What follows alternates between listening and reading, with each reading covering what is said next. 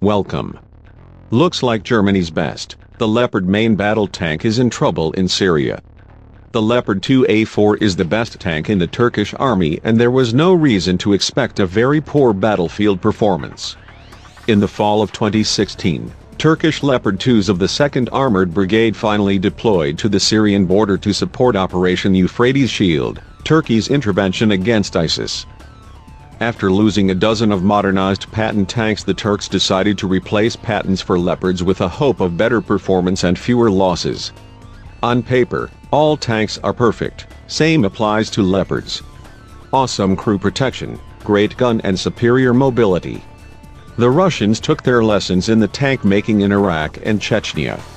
On the contrary, the Western arms makers had no chance to battle-prove their tanks in urban warfare and that was the reason to believe that their products are clearly superior and nearly indestructible. All changed with so-called Arab Spring when the disputable balance of power and order disappeared literally overnight.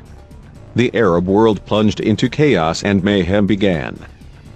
Leopard 2 main battle tank has a reputation as one of the finest in the world, competing for that distinction with proven designs such as the American M1 Abrams, British Challenger 2 and French Leclerc. However, that reputation for nigh invincibility has faced setbacks on Syrian battlefields and placed Berlin in a uniquely awkward national-level dispute with Turkey, its fellow NATO member. Turkish Army's Leopard 2A4 tank had proven embarrassingly vulnerable in combat. German MBT is pretty similar to the M1 Abrams. Both tanks utilize the 120mm main gun produced by Rheinmetall. Both are powered by a 1500 horsepower engines, though of different design yet powerful enough to push both machines to a maximum speed of over 60 kilometers per hour. In general, the Leopard and M1 were designed to fight Russian tanks in Cold War theater.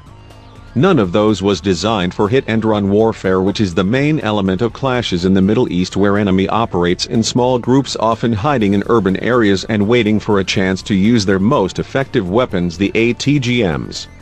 Both Leopard and M1 have to face Russian-made AT-4, AT-5, AT-7 or US-made TOW missiles and it does not look like the alleged machines are up for the task.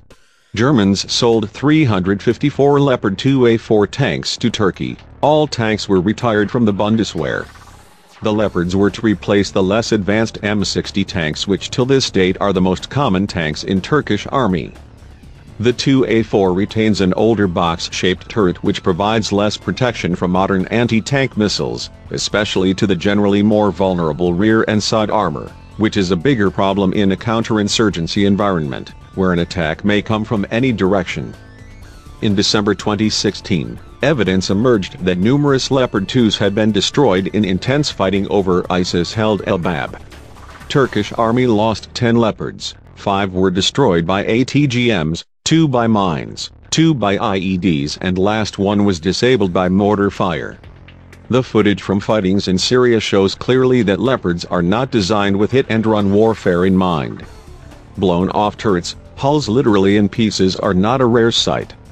But tank itself is not to blame for all the losses.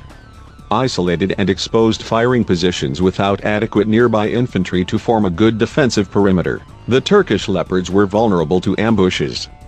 The same poor tactics have led to the loss of numerous Saudi Abrams tanks in Yemen.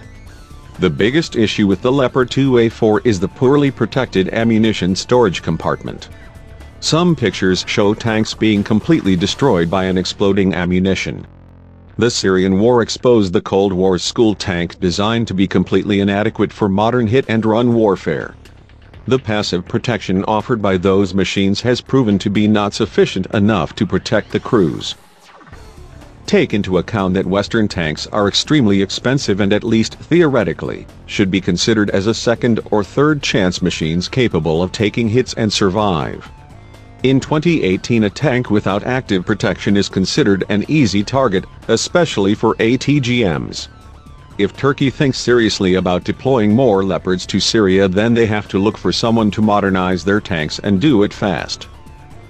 The Leopard 2A4 has a very bad reputation among the crews. Recently German machines were nicknamed bombs on tracks. In my personal opinion, an MBT design has to change entirely. Less armor and more active protection is something to be taken seriously into consideration because the era of steel monsters is clearly ending. Thanks for stopping by. Please share like and subscribe for more interesting stuff. Take care and see you next time.